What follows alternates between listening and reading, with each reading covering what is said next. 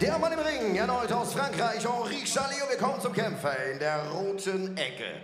Er ist 18 Jahre jung, 77 Kilogramm schwer, 1,85 Meter groß.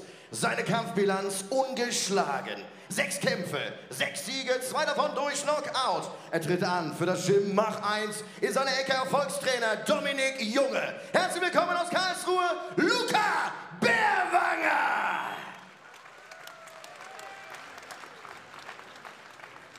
Sein Gegner in der blauen Ecke ist 21 Jahre jung, 78 Kilogramm schwer, 1,85 Meter groß. Seine Kampfbilanz, sieben Kämpfe, sechs Siege, zwei davon durch Knockout. Er ist Vize-internationaler deutscher Meister, tritt an für das Gladiators Gym Ingolstadt in seiner Ecke. Unter anderem der 22-fache Weltmeister Dardan Morina sowie Genti Morina und Chris Gerber. Herzlich willkommen aus Ingolstadt, Mo Montana!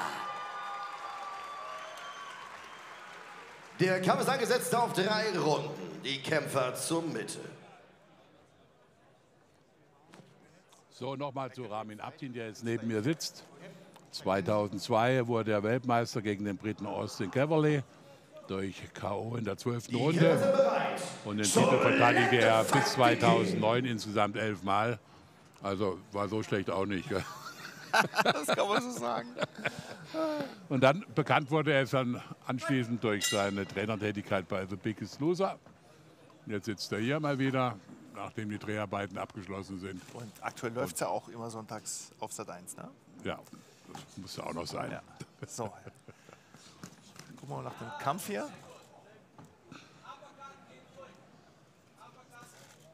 Ja, zwei junge Burschen. Der eine Luca Bärwanger, 18 Jahre alt, der andere 21, Momentana. Ist ein Boxkampf, also kein Kickboxkampf. Auf jeden Fall tasten sie sich nicht äh, besonders lange ab, sondern gehen gleich zur Sache. Oh, oh schön die gut abgeräumt. Linke da zum Kopf, ja. Ja. Naja, bei dreimal zwei Minuten abtasten ist natürlich auch gefährlich. Ne? Ja.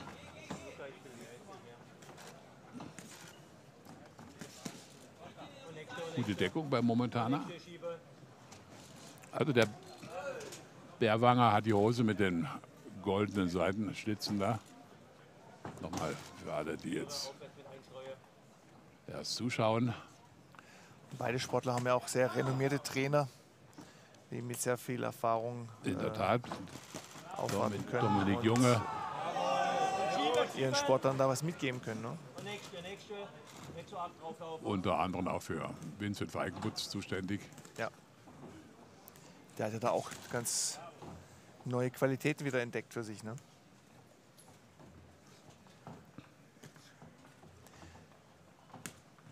Der Luca muss ein bisschen aufpassen, dass er die rechte Hand nicht immer fallen lässt. Ne? Man wird schon ein paar Mal jetzt ganz gut getroffen um Seitwärtshaken. Aber bis jetzt recht ausgeglichene Runde. Da wieder. Ja, lässt die Hände ein bisschen fallen. Da noch einmal die linke und die rechte. So bisschen, ja. Jetzt wieder, ne, muss ein bisschen geschlossener weggehen nach der Aktion. Und das ist natürlich nachher die Aktion, wenn du so ein Ding nach Punkt gewinnst. Ne? Die ja. klaren Treffer, die da durchkommen. Ja.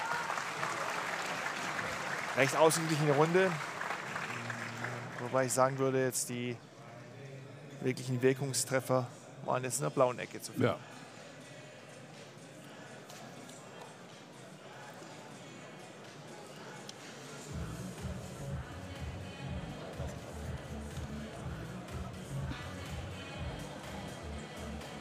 Momentan aus dem Gladiators Gym in Ingolstadt.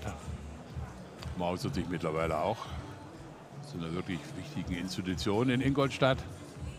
Und die Gladiators, um da dann Marina veranstalten am 17. Juni wieder ihren großen Kampfabend. Letztes Jahr gab es ja ein Acht-Mann-Turnier, überragendes Kickboxen. Und mal schauen, ob das dieses Jahr wiederholt werden kann. In der Ecke Genti, Morina und Chris Gerber. Ein paar Psychospielchen gab es auch gerade. Aber ich denke mal, der Mo wird versuchen, jetzt wieder über die Haken auf der Außenbahn zu kommen. Gut abzutimen. Ja, er sollte sich nicht auf irgendwelche Schlagabtausche einlassen. Sag ich den Schlagabtausche oder Schlag? Das ist eine gute Mehrzahl. Frage. Hey. also mal gut, gut getroffen mit rechts. Er kommt dann immer wieder durch mit der rechten.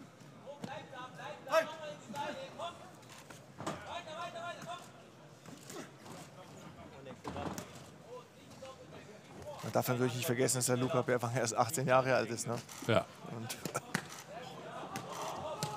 da ist er wieder seit der ja ist einfach zu offen noch. Ja.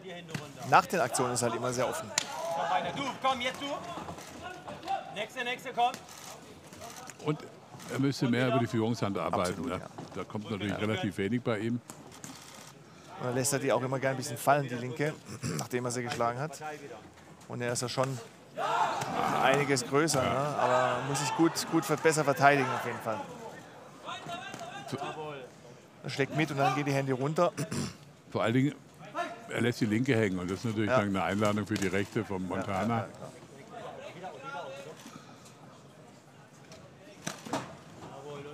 Gut, komm. Da sind sie mal ein bisschen mit Köpfen zusammen. Ja. Montana kommt in Iran geboren.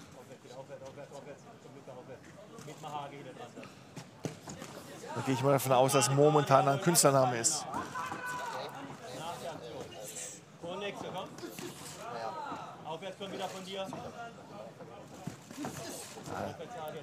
Ist ein bisschen die Luft raus beim jungen Luca. Ja, nochmal gute Körpertreffer, ja. Das Schlägt ist auch sehr variabel. Jetzt hat er mal die Aber Herz linke gefressen, der Montana. Also wenn man die erste Runde knapp für die blaue Ecke geben konnte, Die war, das, war die zweite sehr deutlich. Ja. Ja.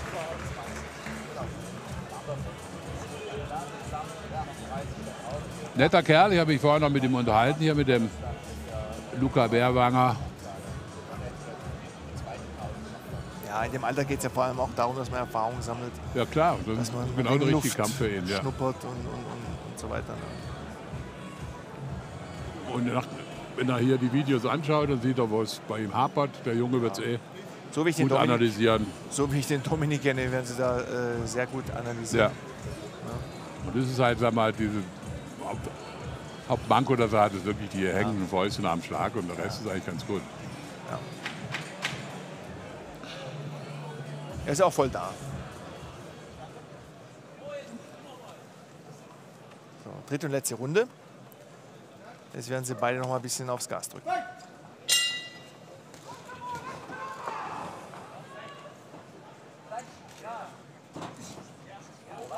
Er hat auch eine gute Körperbewegung, der Montana. Ne? Er Petzelt da ein bisschen rum, schwer. Dann lässt er ihn kommen und schöne Konter, Wund. Ah, dann die linke dann Er hat verpasst. halt mehr Erfahrung. Also er antizipiert Ja, mehr, drei geht, Jahre geht er halt seitlich viel aus, raus. ja. Ja. klar. Nächste, nächste, nächste, nächste, komm. Da war die rechte wieder am Kopf. Das muss er aufpassen, der Bärwanger, dass er nicht da in so einen richtig harten reinläuft. Aber er muss natürlich auch was machen, weil punktemäßig liegt er, nach hinten, liegt er hinten und äh, jetzt muss er natürlich den Kampf zum Gegner bringen und fighten ne, und versuchen dann gut zu treffen. Das ist mir auch schon ein paar Mal ganz gut gelungen in der Runde. Ja, aber wenn er das alles mit der Führungshand vorbereiten würde, ne, Mit dem Schritt. Nicht Stehen. wäre da ein bisschen anders aus. Da, äh, er springt nach vorne mit der linken und dann ist er eigentlich offen. Also von seinem körperlichen Rahmen, wie man so schön sagt, hat er es eigentlich nicht nötig, da mitzukeilen, aber eine gute Führung ist halt auch Timing-Sache.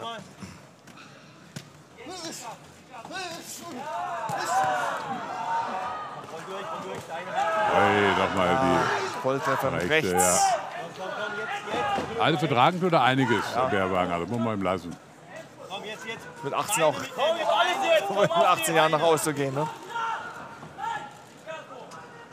Komm, komm, komm. Körper, Körper. Schritt, Luca, Schritt sofort, Schritt. Komm Schritt. Ja, aber kämpft wirklich hier bis zum Ja, Schluss, gibt Kämpferherz auf, hat er. greift an. Die linke ist es, die hängt. Ja. Und die rechte ist es von Montana, die da. Aber das war auf jeden Fall trotzdem durch. seine beste Runde. Ja. Gut, das ist natürlich immer so eine Sache, dass, wenn ich jetzt die ersten beiden Runden gewonnen habe, was mache ich in der dritten? Der andere kommt, hau ich jetzt mit oder nicht?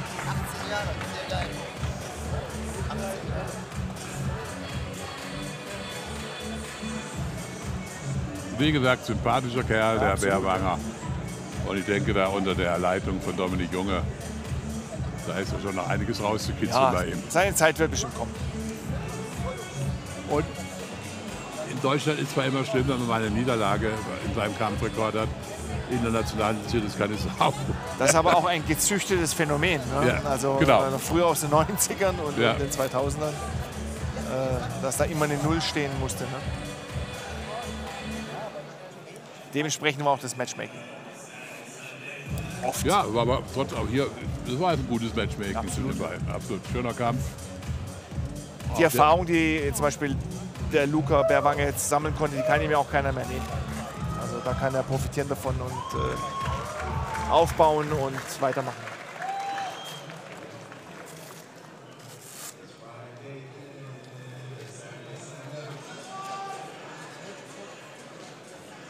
Jedes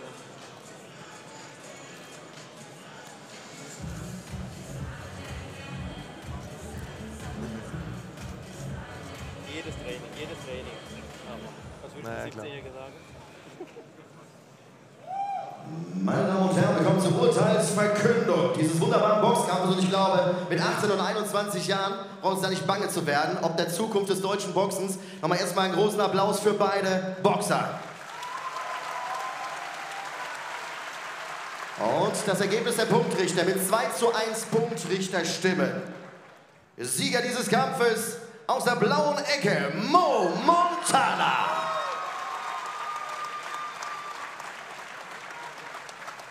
2 zu 1 Punktrichter. Ich weiß es nicht, was der, Weiß ich auch nicht. der jetzt den Bärwanger vorne hatte, aber Was ich da sagen soll. Ne? muss man sich mal erkundigen. Warum? Aber ist ja eine subjektive Einschätzung. Ne? Ja, klar.